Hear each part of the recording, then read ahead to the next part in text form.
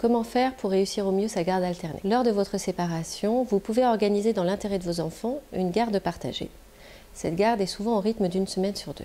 Il est important de prendre le temps d'échanger avec votre avocat qui vous aidera à organiser ce nouveau mode de vie. Il faudra prendre en compte par exemple le rythme de vie de chacun des parents, mais aussi de celui des enfants, de leurs activités, trouver des logements peut-être proches pour faciliter les échanges, mais aussi déterminer qui prendra en charge les frais financiers liés aux vêtements, à la cantine, aux activités par exemple. Sachez aussi que cette garde sera différente dans sa durée ou dans son rythme si nous avons affaire à de jeunes enfants ou à des adolescents. Une fois que vous êtes séparés, il est important de conserver euh, des relations apaisées et toujours chercher à communiquer. Vous pouvez communiquer bien sûr par téléphone autour d'un café, mais également mettre en place un carnet de liaison sur lequel vous pourrez noter au quotidien les éléments importants qui vous paraissent nécessaires de transmettre à l'autre parent. Bien sûr, vous pouvez toujours le modifier, mais la régularité permet à vos enfants de se construire dans cette nouvelle vie. Prévoir des affaires en double, vêtements, objets,